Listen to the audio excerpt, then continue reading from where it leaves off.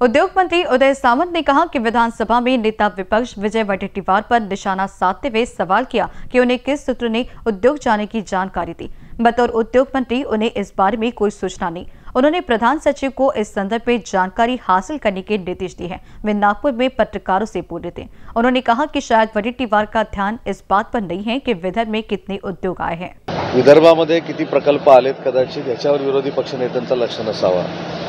गडचिरोली असेल नागपूर असेल अमरावती असेल पूर्ण विदर्भामध्ये पूर्व विदर्भ आणि पश्चिम विदर्भामध्ये अनेक प्रकल्प आणण्यामध्ये आम्ही यशस्वी झालेलो आहोत. आणि कुठच्या सूत्रांनी त्यांना माहिती दिली मला माहीत नाही. अजून उद्योगमंत्री म्हणून मला ही माहिती नाही. कुठेही याची नोंद देखील नाही. त्याच्यामुळे मी प्रधान सचिवांना ह्याची सगळी माहिती कलेक्ट करण्याच्या सूचना दिलेल्या आहेत. परंतु सध्या तरी असं कुठेही झालेलं नाही. परंतु मला असं वाटतं की विदर्भातनंच काल एक बातमी अशी पब्लिश झाली की आमचं सरकार आल्यानंतर आम्ही मुख्यमंत्री माझी लाडकी बहीण योजना ही आम्ही बंद करू. आणि याच्यावर सारवासारव करण्यासाठी मग कुठचं डिपार्टमेंट टार्गेट करायचं?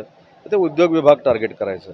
कालच देशातल्या पहिल्या सेमीकंडक्टरच्या कंडक्टरच्या प्रकल्पाचं उद्घाटन मुख्यमंत्री आणि दोन्ही उपमुख्यमंत्र्यांनी नवी मुंबईला केलं. त्याच्यामध्ये भारतरत्न सचिन तेंडुलकर देखील उपस्थित होते अनिल काकोडकर देखील उपस्थित होते.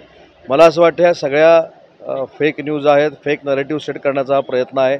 आणि म्हणून मला असं वाटतं की विदर्भातनंच नागपूरमधनं काल जी एक बातमी पब्लिश झाली आमच्या सगळ्या लाडक्या बहिणींच्या बाबतीत जी काँग्रेसचं सरकार जर आमचं आलं आलं तर आम्ही ती बंद करणार आहोत अशा बाबतीत जी न्यूज आली त्याच्यावर सारवासारव करण्यासाठी कदाचित हे विरोधी पक्षनेत्यांनी ट्विट केलेलं असावं असं कुठेही नाही.